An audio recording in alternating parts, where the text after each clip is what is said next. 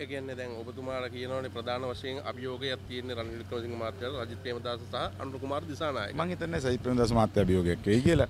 නිකන් හරි වෙන්නේ ඔගෙන් අඩුම ගානේ අර මිනිස්සු අර දන්නේ නැතුව අනුර කුමාර දිසානායක මැතිතුමාට අර මිනිස්සු හිතනවානේ තමන් කරගත්ත පව් ටික මකා ගන්න පුළුවන් අපිට බැනලා අ, අලුත් කිසිම දේශපාලනට ආපු නැති පක්ෂයකට එකතු වුණාම ඔක්කොම ඒගොල්ලන්ගේ පව් හරි කියලා හැබැයි වැඩියෙන් බැලුවොත් එම NPP එක එහෙම නැත්නම් මාලිමාව පිටිපස්සේ ඉන්නේ දෙදස් දහනම උඩ දාගෙන චන්ද දපු සෙට් එකම තමයි ඉපත්තට ගිහිල්ලා ඉන්නේ. එහෙම නැතුව එදා හිටපු 103 කට්ටිය නෙමෙයි ඉන්නේ.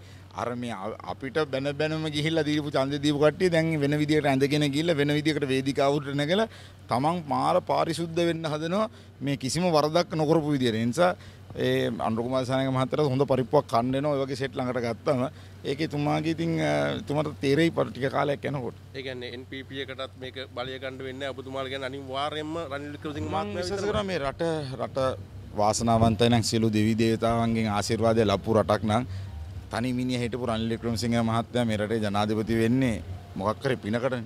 එහෙම නොවන නම් අද අපි කොතනද ඉන්නේ?